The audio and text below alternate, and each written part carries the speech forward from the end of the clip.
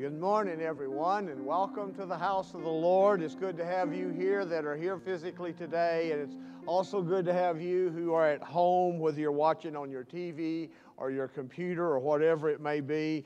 Welcome, welcome. It's good to have you, and let me say right up front, Happy Mother's Day to all you mothers. This is a strange day, and we're in a strange time. I was telling someone earlier today, you know, I think all the days that we have special days normally are going to be very strange how we handle them this year.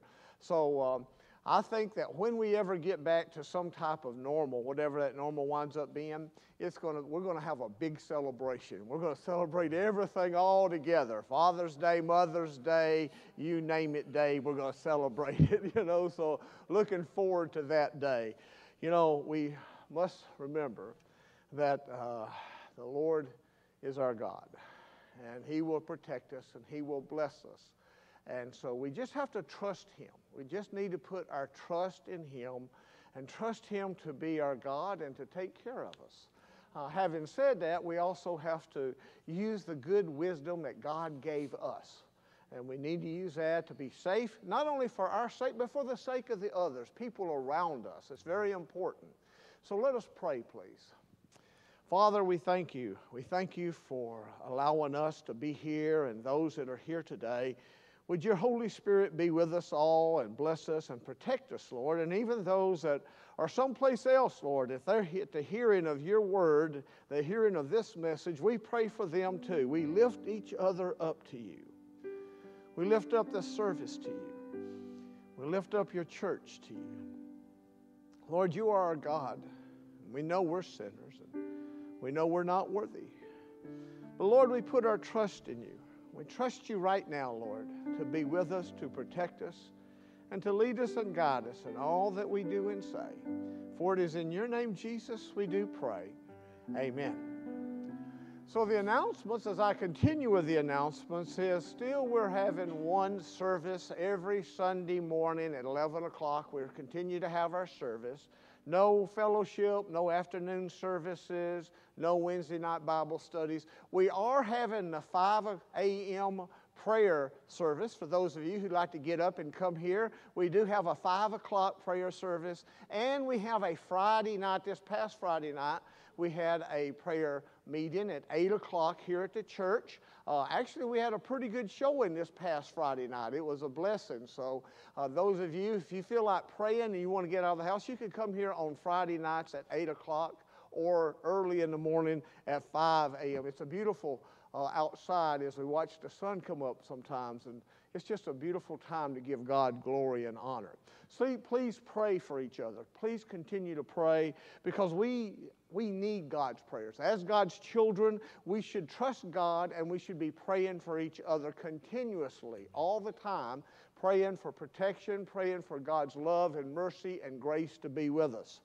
Again, happy Mother's Day to all you mothers. It's so good to have you here with us, and I'm so glad that you've been able to come. And those of you who cannot come for whatever the reason, our thoughts and our prayers go out to you also. Now, let us bow our heads, please, for a word of prayer. As I read from God's word, I'm going to read Psalm uh, 66, verses 16 through 20.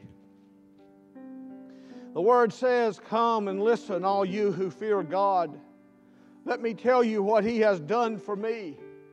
I cried out to him with my mouth, his praises was on my tongue. If I had cherished sin in my heart, the Lord would not have listened. But God has surely listened in my heart and heard my voice in prayer. Praise be to God, who has not rejected my prayer or withheld his love from me. Amen. This morning, as we gather here and as we gather at home, let us open our hearts up to God. Let us give him glory and honor, for he is our God. He is our Lord. He is our Savior. Would you pray this prayer with me, a prayer of repentance? Would you pray a prayer for each other? Would you pray a prayer for this service? Would you pray for this word? Pray for this message. Pray that God would be pleased with us. Let us lift up our voices now. Let us go to the Lord in prayer. Hallelujah. Praise His holy name. Mighty God, we humble ourselves before you. You are our God, and there is no other. You are holy and righteous, and we are sinners. Forgive us, Lord. Have mercy on us, Lord. Have mercy on us. Separate our sin from us, Lord, and let us come into your presence. Let us worship you. Let us praise you. Let it be sincere. Let it be from our hearts, Lord. Oh, glory. Hallelujah. Thank you, Jesus. Thank you, Jesus, for being our Redeemer. Thank you for being the Christ, the Son of God. Holy Spirit, anoint us and use us now. Oh, hallelujah. Hallelujah. Thank you, Lord Jesus. Thank you for this privilege and this honor to come to you, to call you Abba Father, to call you our God. Because, Lord, you have paid our price for us. You have redeemed us. You have cleansed us, Lord. You are our God. Please, Lord, help us now. Help us to worship you in spirit. Help us to worship you and give you glory. Help us to please you, Lord. No matter what the world is doing, no matter what's going on around us, Lord, we humble ourselves before you. And I know, Lord, many of us struggle. We struggle because, Lord, there's so much things going on around us and things we're not sure of. Lord, we pray for more faith. More faith, Lord, that we may be closer to you, that you would receive glory in what we do and say, that we would be pleasing to you. I lift all these souls, Lord, the whole church up to you, every family, every soul. Helping us, Lord, with your Holy Spirit. For it is in your precious name, Lord Jesus, we do pray. Amen. Praise the Lord. Now we're going to sing All Hail the Power of Jesus' Name.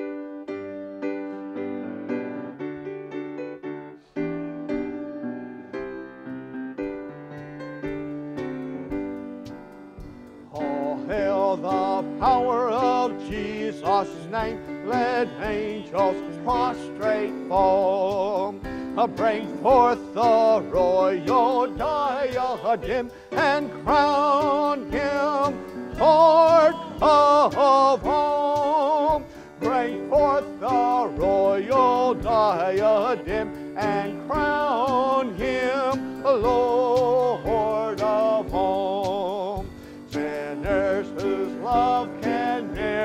forget the wormwood and the gall. Come lay your trophies at his feet and crown him Lord of all. Come lay your trophies at his feet and crown him Lord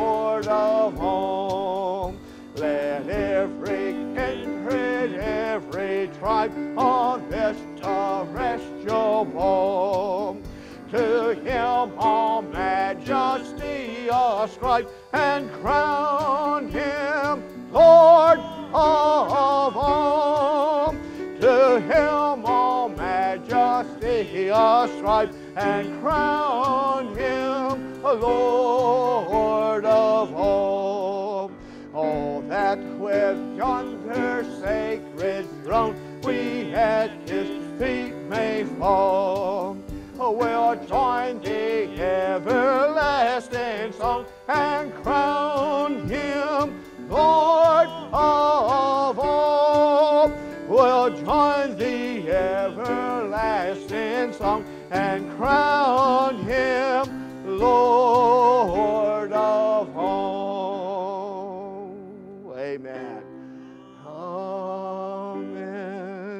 Amen. Now we're going to sing Arise and Sing, Ye Children of Zion.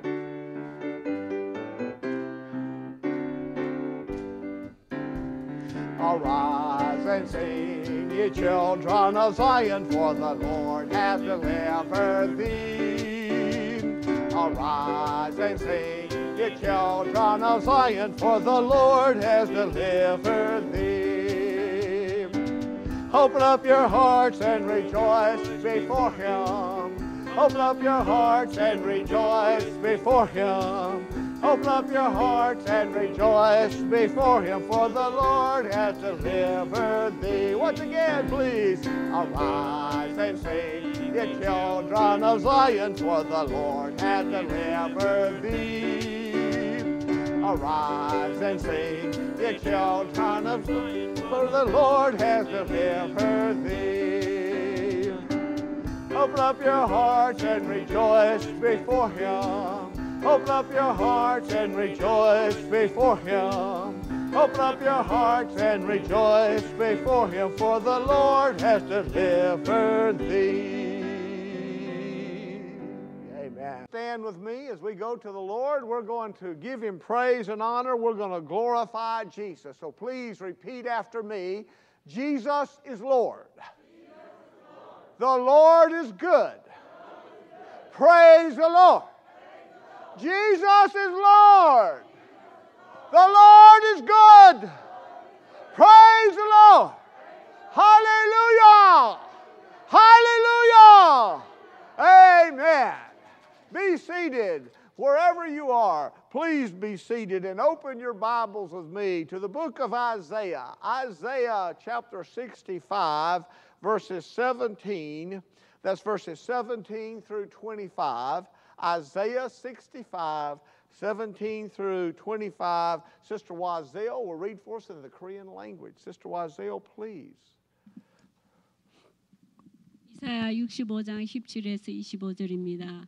보라 내가 새 하늘과 새 땅을 창조하나니 이전 것은 기억되거나 마음에 생각나지 아니할 것이라.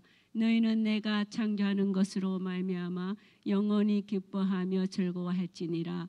보라 내가 예루살렘을 즐거워할지리라. 보라 내가 예루살렘을 즐거운 성으로 창조하며 그 백성을 기쁨으로 삼고 내가 예루살렘을 즐거워하며 나의 백성을 기뻐하리니 우는 소리와 부르짖는 소리가 그 가운데에서 다시는 들리지 아니할 것이며 거기는 날수가 많지 못하여 죽는 어린이와 송한이 차지 못한 노인이 다시는 없을 것이라. 고 백세에 죽는 자를 젊은이라 하겠고 백세가 못되어 죽는 자는 저주받은 자이리라 그들이 가옥을 건축하고 그 안에 살겠고 포도나무를 심고 열매를 먹을 것이며 그들이 건축한 데에 타인이 살지 아니할 것이며 그들이 심은 것을 타인이 먹지 아니하리니 이는 내 백성의 수완이 나무의 수완과 같겠고 내가 택한 자가 그 손으로 일한 것을 길이 누릴 것이며 그들의 수고가 헛되지 않겠고 그들이 생산한 것이 재난을 당하지 아니하리니 그들은 여호와의 복된 자의 자손이요 그들의 후손도 그들과 같을 것임이라. 그들이 부르기 전에 내가 응답하겠고 그들이 말을 마치기 전에 내가 들을 것이며 이리와 어린 양이 함께 먹을 것이며 사자가 소처럼 짚을 것, 먹을 것이며 뱀은 흙을 양식으로 삶을 것이니 나의 성산에서는 해함이 없겠고 상함도 없으리라. 여호와께서 말씀하시니라. Praise the Lord. Isaiah 65, 17 through 25. Behold, I will create new heavens and a new earth. The former things will not be remembered, nor will they come to mind. But be glad and rejoice forever in what I will create. For I will create Jerusalem to be a delight and its people a joy. I will rejoice over Jerusalem and take delight in my people. The sound of weeping and of crying will be heard in it no more. Never again will there be in it an infant who lives but a few days, or an old man who does not live out his years. He who dies at a hundred will be thought to be a mere youth he who fails to reach a hundred will be considered accursed. They will build houses and dwell in them. They will plant vineyards and eat their fruit. No longer will they build houses and others live in them, or plant and others eat. For as the days of a tree, so will the days of my people. My chosen ones will long enjoy the works of their hands. They will not toil in vain or bear children doomed to misfortune, for they will be a people blessed by the Lord, they and their descendants with them. Before they call, I will answer. While they are still speaking, I will hear. The wolf and the lamb will feed together, and the lion will eat straw like the ox. But dust will be the serpent's food.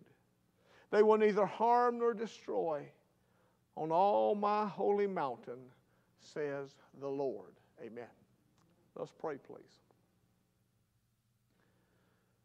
Our Father in heaven, thank you, Lord, for this word, and thank you for this message. And Lord, thank you for these people who are here today to receive it and those who receive it wherever they may be.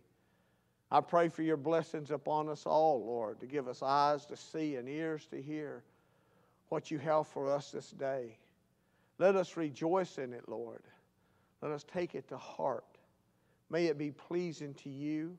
And may, Lord, we carry it with us wherever we go. For it is in your name, Jesus, we do pray. Amen. Praise the Lord. Uh, before, I, before I start uh, uh, going any farther, I forgot to mention I'm so pleased with those of you that are here today because you are maintaining your, your uh, social distancing very well. Thank you very much. And, and I know that many of you appreciate that, and, and it's good that you're doing that, you know, because it shows that you care for other people. And we do care for each other, right? Praise the Lord. So we're going to have a new everything. New everything. That's what this says. The previous age, the old age, has passed away, and the glories of the new millennial reign has dawned. It's come the glories of the renewed age will mean that the past is not only over, but it's forgotten. It's completely forgotten. And not only is it forgotten, but it's actually left behind. It will be a time when God Himself will minister through His people. This will be the day of the Lord. Hallelujah. The day of the Lord, and it's coming as sure as you and I are here right now. The day of the Lord is coming. Turn in your Bibles with me for just a couple of minutes over to 2 Peter 3. 2 Peter 3 10 through 14. That's 2 Peter 3 10 through 14. Follow along as I read. But the day of the Lord will come like a thief. The heavens will disappear with a roar, a roar. The elements will be destroyed by fire, and the earth and everything in it will be laid bare. Since everything will be destroyed in this way, what kind of people ought you to be? You ought to live holy and godly lives as you look forward to the day of God and speed its coming. That day will bring about the destruction of the heavens by fire, and the elements will melt in the heat. But in keeping with His promises, we are looking forward to a new heaven and a new earth, the home of righteousness. So then, dear friends, since you are looking forward to this, Make every effort to be found spotless, blameless, and at peace with Him. Amen. In our text that we read earlier, we begin the final section, the final section of the book of Isaiah. The previous age is finished, it's over. The promises and the glories of a new millennial has come. In our text, the Lord describes this millennial kingdom and the eternal state after that new heavens and new earth together. In Revelation, the new heavens and new earth, they follow the millennium. In fact, turn in your Bibles with me. Please, one more place, please. Let's go to uh, Revelation 21, just two verses, 1 and 2. Revelation 21, verses 1 and 2. Follow along as I read.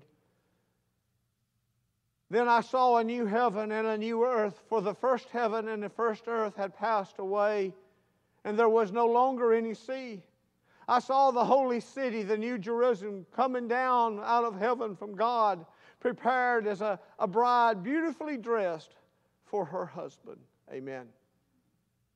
Most likely, Isaiah, back in Isaiah, our scripture, he did not distinguish between these two aspects of God's rule.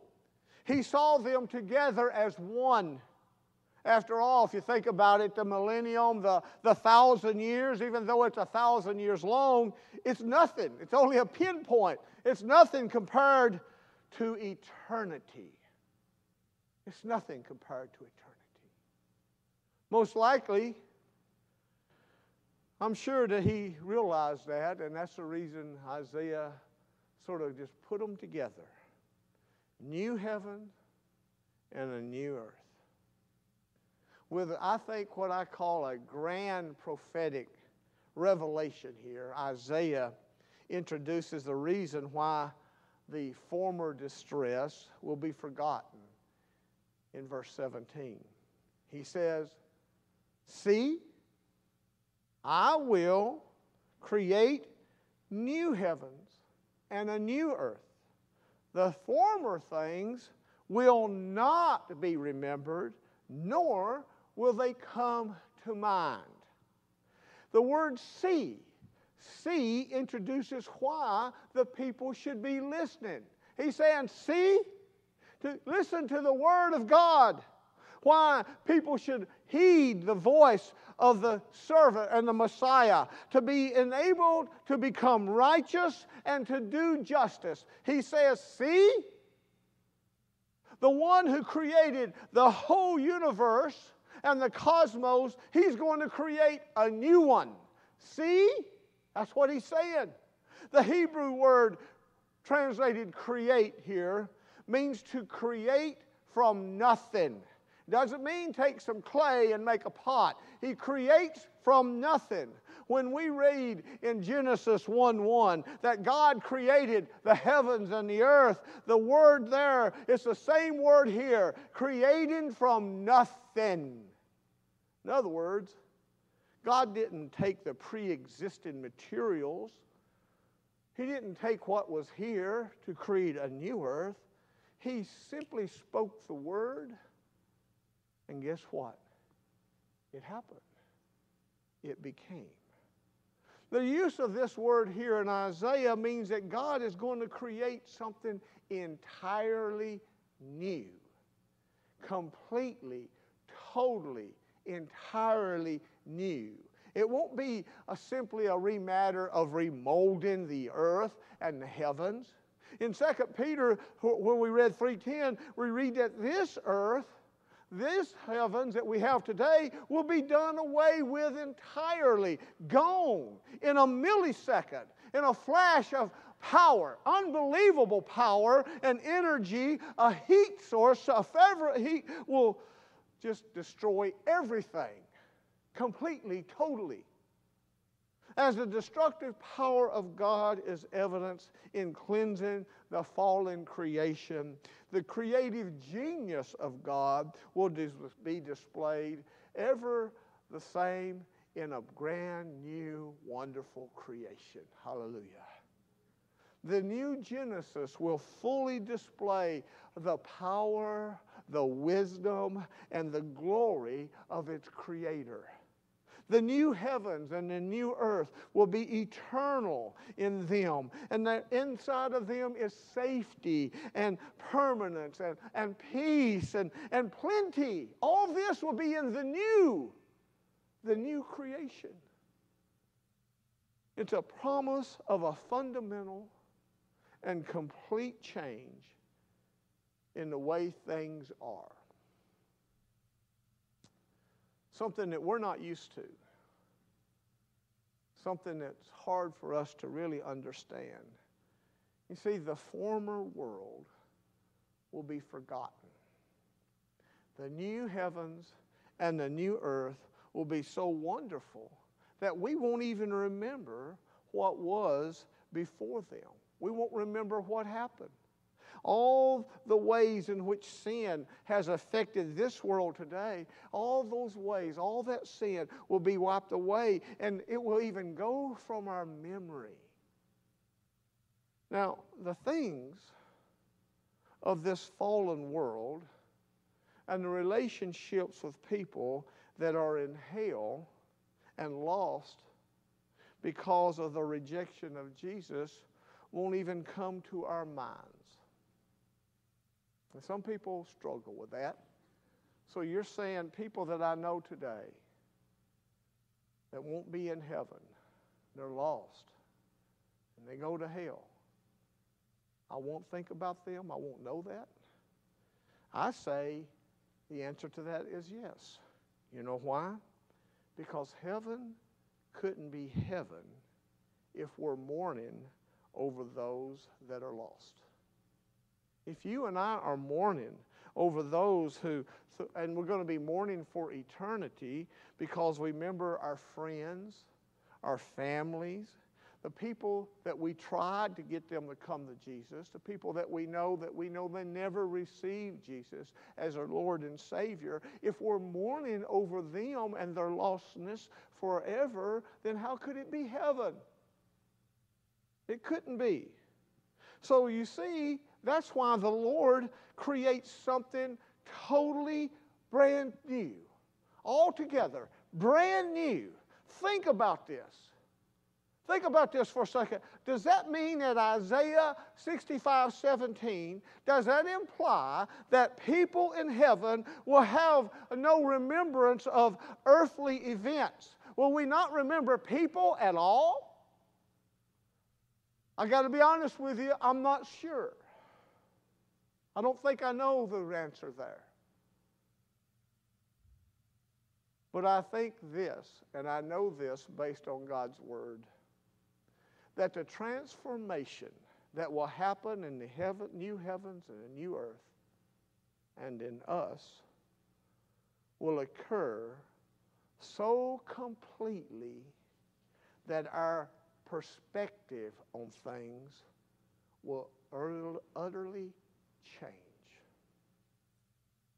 Things that mean something a lot to us today will not mean the same to us then. Things that are important today will be nothing. Things that bother us today, nothing. It's going to be totally different. Our earlier and our falling perspective that we have now will not be remembered and will not come to mind the dark and the tragic events and aspects of our past lives will be transformed by the, the glorious light, a new reality. And this reality, we will be filled with gratitude and filled with joy. Just think just think on this, this, this, promise from God. This is one of the most important promises that I hold so dear in my heart from God. God's new world, God's new creation. It will be so wonderful that none of the problems of the past will be remembered. Nothing. And none of the problems of the past will be repeated. Hallelujah.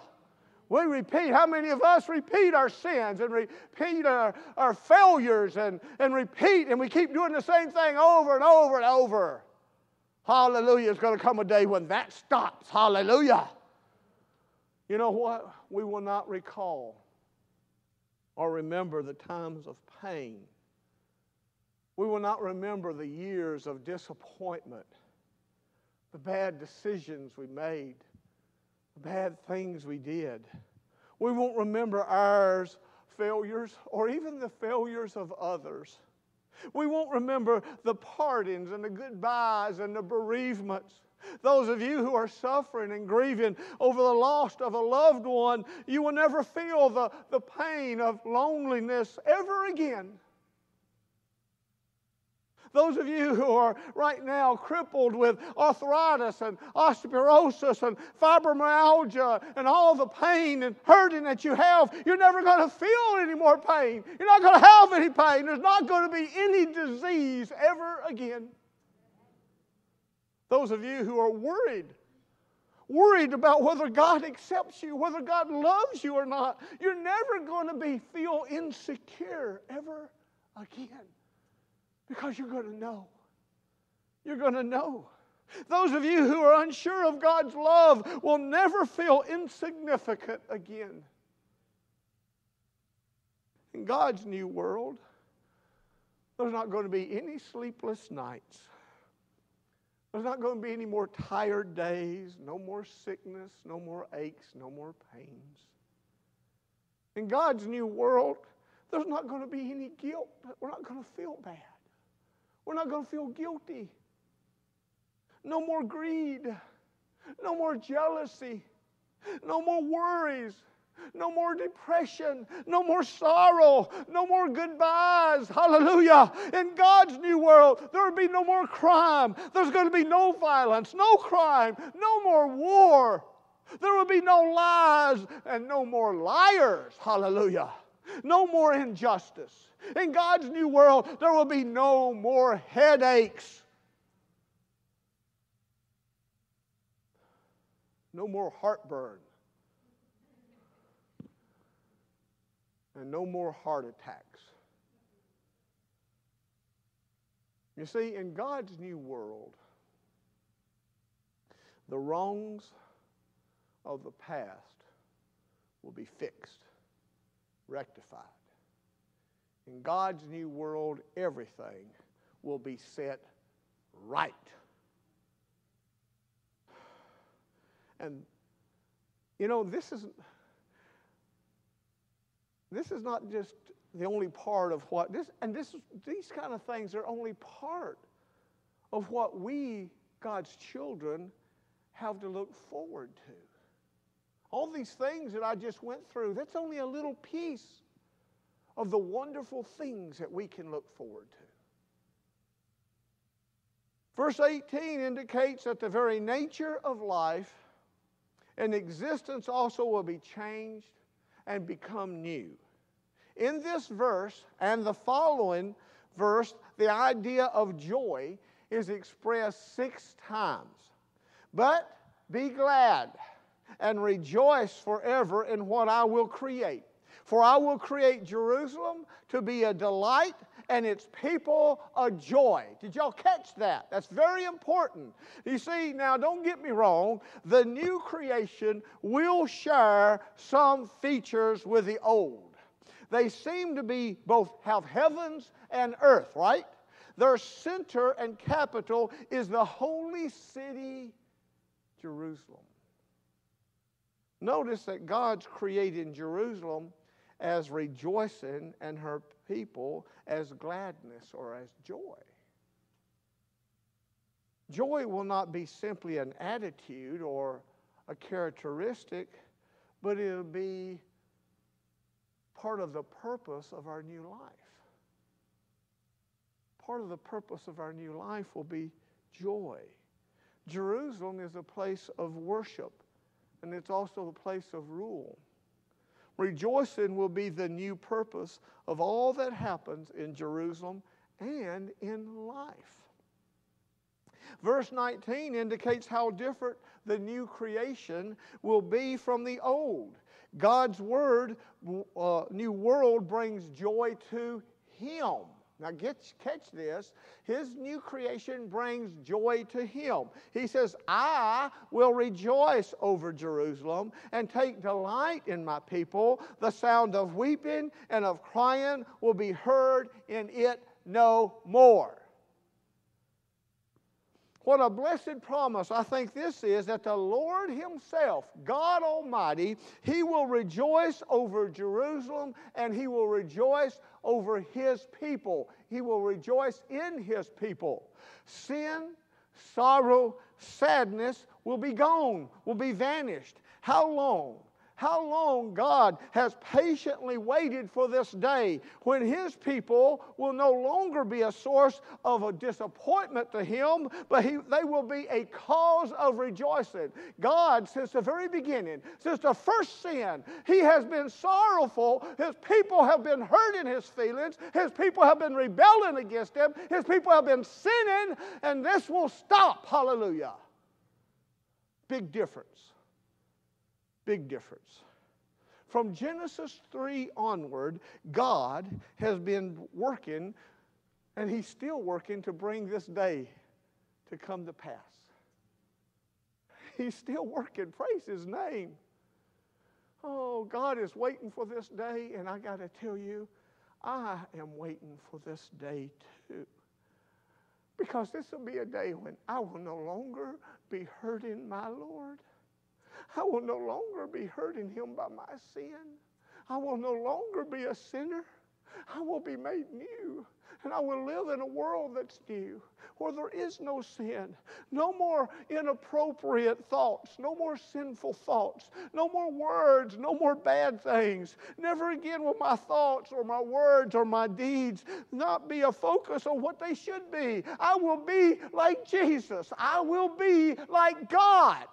I will live in complete harmony with God and in His Word and in His will. And those is the reason He will be joyful over me. And you, if you belong to Him. I'm looking forward to the day of the Lord. Personally. And if you have Jesus as your Lord and Savior, you know exactly what I'm talking about. Because we know we fail our Lord, don't we? I wish I could say I don't fail God, but I do. I don't want to, but I do. But on the day of the Lord, I will not do it ever again. Hallelujah. So we have now the millennial kingdom. From here on, a change seems to occur.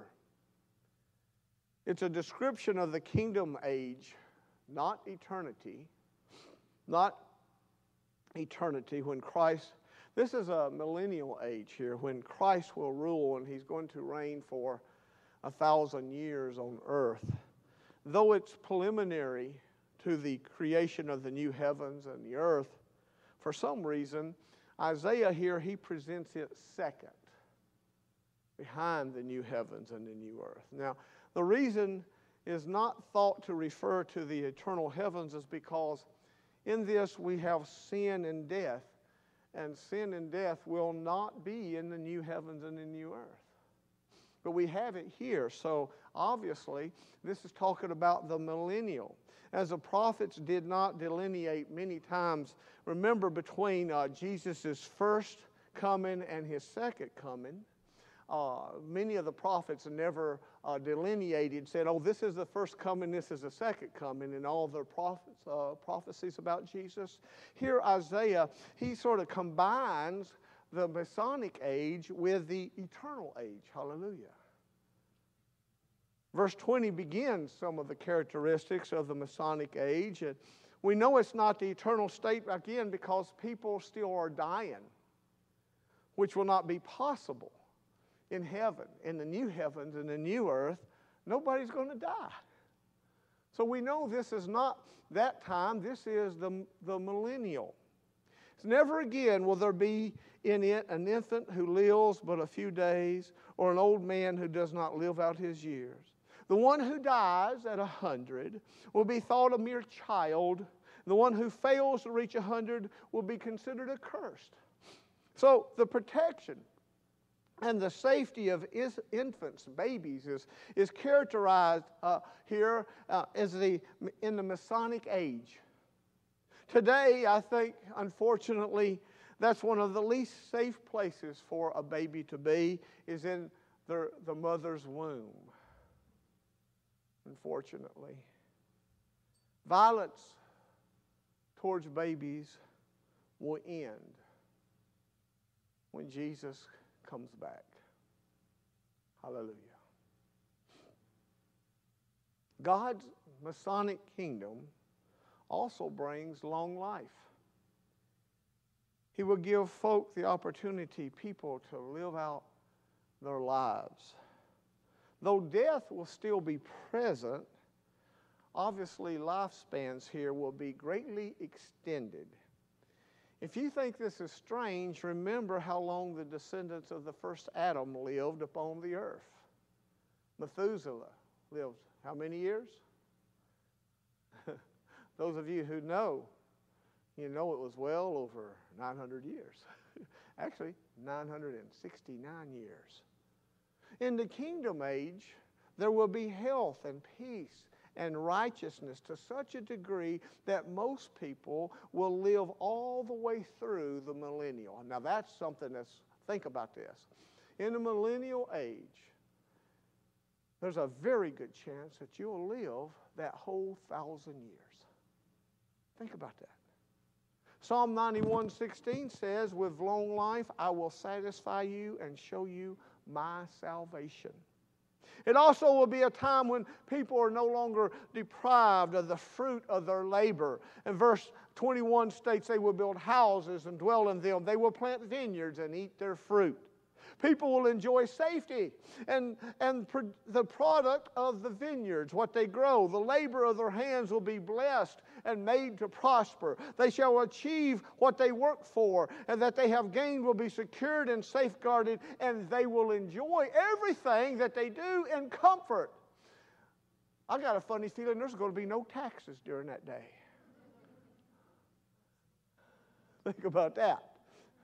You actually get to enjoy everything you work for, everything you make. It'll be yours. Everything. You see, the injustices of this age will disappear. Verse 22 No longer will they build houses and others live in them, or plant and others eat. For as the days of a tree, so will the days be the days of my people. My chosen ones will long enjoy the work of their hands. Hallelujah.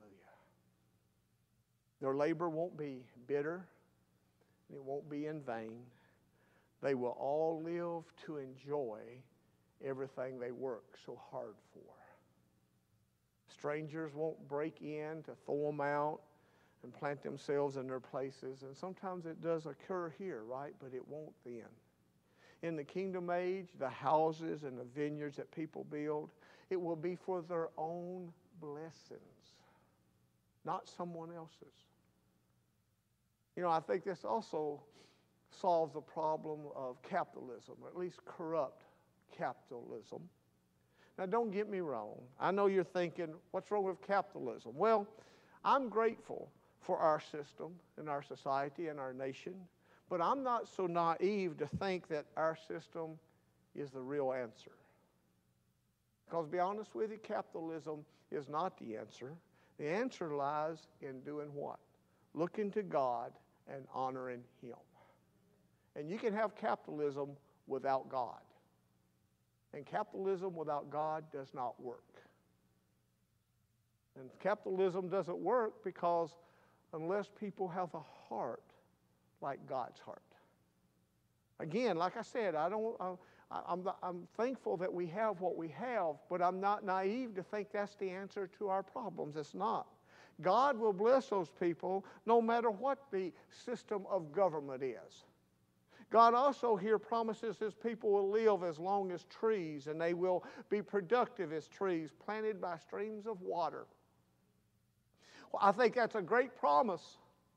They will have the ability and time to do something right. Then, once they do something right, they'll have the opportunity to actually enjoy what they produced to the full. Hallelujah.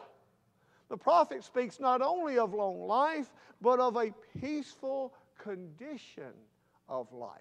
Who wants to have a long life if all you do is suffer and have to fight and scratch tooth and nail for everything, and then when you get it, you can't keep it?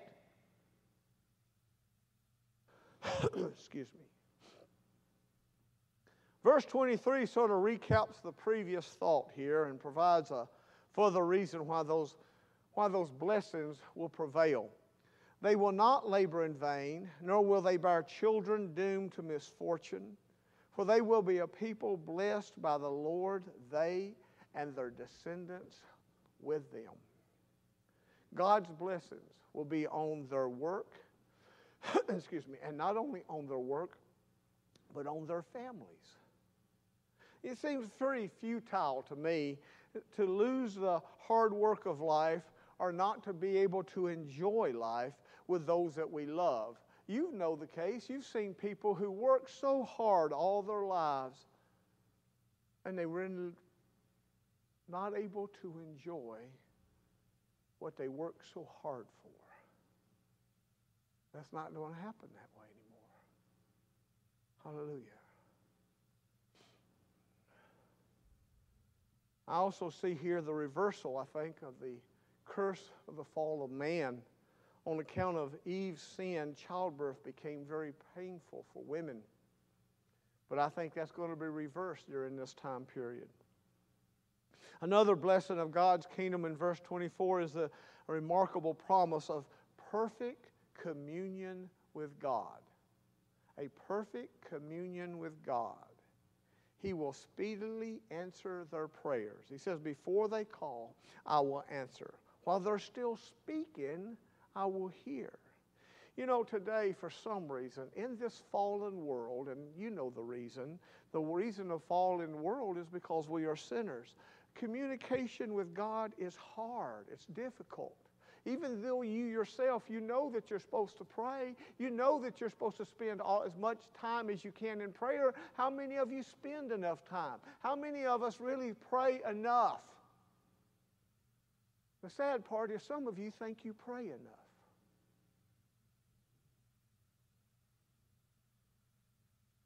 It's hard because of our sinful condition, because of the fallen world. But that's not the way it's going to be during the Messianic age. Yahweh will respond to their very thoughts and needs before they can even finish asking. During their time of prayer, God is right there. He hears you, He will answer you, He will anticipate their request, He will answer them even before you can say the word. Hallelujah. Perfect communication between us and God. Verse 25 gives the last concrete examples of how the kingdom age will be different. The wolf and the lamb will feed together, and the lion will eat straw like the ox, and dust will be the serpent's food. They will neither harm nor destroy on all my holy mountain, says the Lord. The effect of the fall made the world a dangerous place to live. Before the fall, Adam and Eve, they didn't have to worry about lions and tigers and bears. Couldn't have been very, even the lambs didn't have to worry about the tigers eating them. Couldn't have been a Garden of Eden if they were scared of the animals, right? Wolves, lions, and snakes symbolize devouring, ravaging, poisonous aspects of our world, both in nature and in humanity. In the kingdom age, wild animals will lose their brutality and, and harmony and safety will prevail.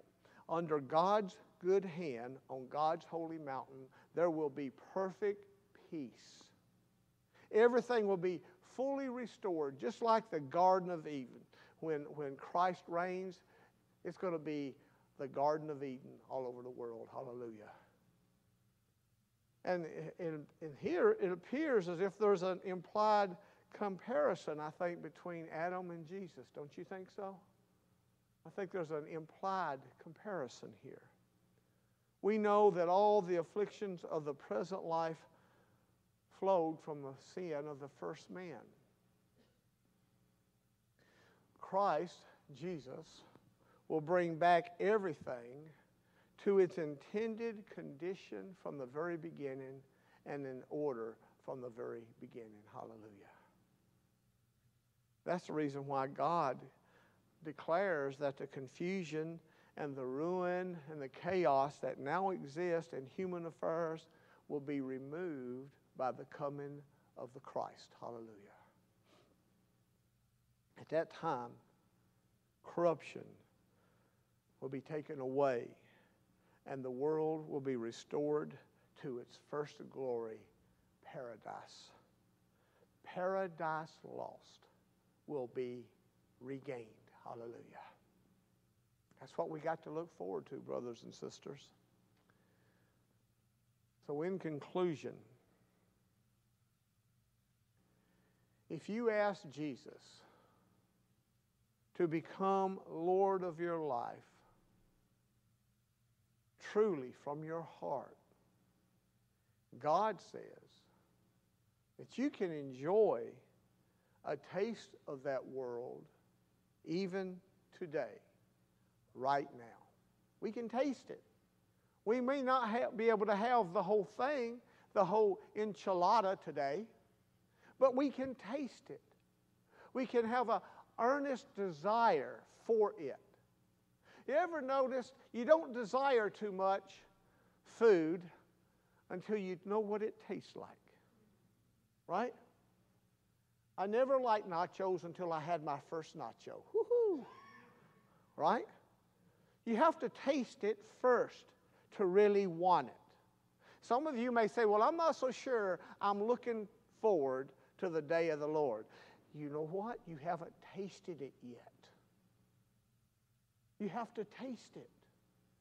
And you can have that taste today if you'll let Jesus be your Lord and Savior. How do I know that? I'm pretty confident. I hope I sound pretty confident. and the reason, let me tell you how I know that.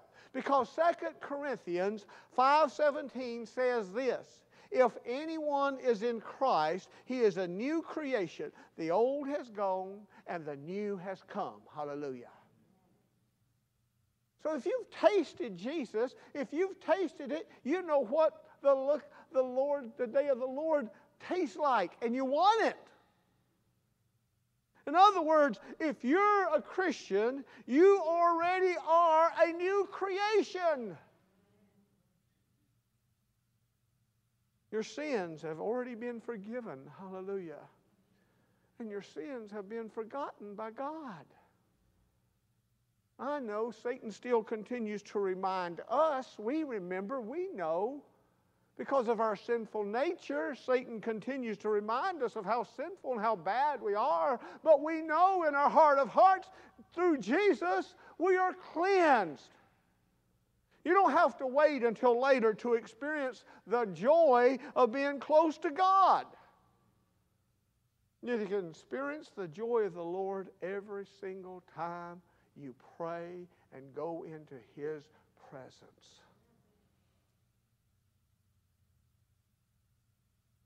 Romans 14, 17 says, For the kingdom of God is not a matter of eating or drinking, but of righteousness, peace, and joy in the Holy Spirit. You can have joy in your life by knowing that God is working in your life. God is working in your life to make you more and more like Jesus. That's my goal. And it should be your goal. The goal of every Christian is to be more and more like Jesus as the day of the Lord approaches. We want to be as much like Jesus as we possibly can. And you can have joy in your life today just by knowing that you're already a member of God's family and God's society and God's kingdom. You can have that joy today. You don't have to wait. You can have it right now. All you got to do is say yes to Jesus. Let us pray, please. Our Father in heaven, have mercy on us and forgive us. Lord, those of us that know who you are, those of us, Lord, who are members, we know we struggle. Even though we are your children, Lord, we are still weak. We know, Lord, that we hurt you, we disappoint you. But you're still our Father, you're still our God. And we live under the grace of Jesus Christ. We accepted that grace because we tried to make you Lord of our lives. Please, Lord, forgive us for we have failed you. Please let us be quick to humble ourselves. But more than that, Lord, those of us who know you, we pray for those, Lord, who do not. Right now, Lord, we lift them up to you. We lift up those, Lord, who need you, Lord Jesus, as our Lord and Savior. For you are the only way, Lord Jesus. You are the only way to the Father. We need you so badly. And so does the lost. Help them, Lord, convict their hearts so that they can repent and have your joy, Lord, for only you can give us the joy that we need. Only you can give us the joy that the world cannot take away. Only you, Lord Jesus. Only you. Thank you, Lord. If there's a decision that needs to be made, let it be made now. Let it be made now, Lord, for your glory, for your eternal peace to be in our hearts. Let us rejoice in you. Let us draw near to you. For you are our God, we are your people, and it's in Jesus' name we do pray. Amen. Let's all stand, please. We're going to sing All to Jesus, I Surrender.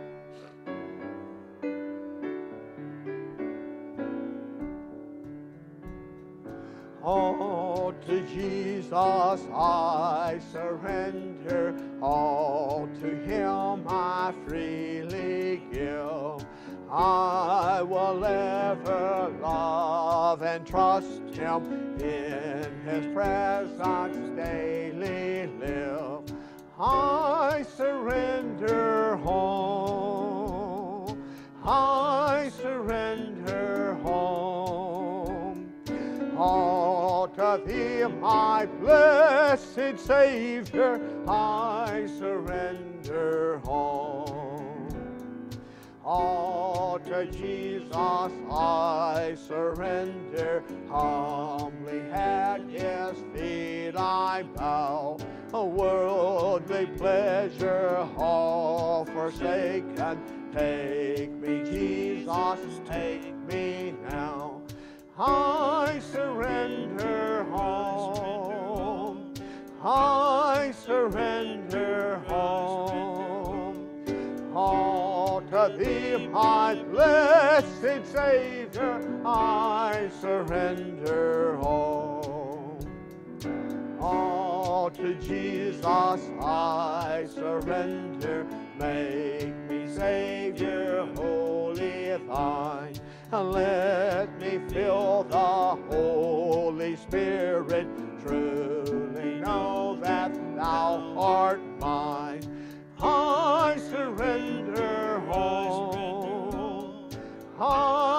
surrender home. All to thee, my blessed Savior, I surrender home. Amen. Amen. Would you bow your heads, please? Allow me to give you benediction.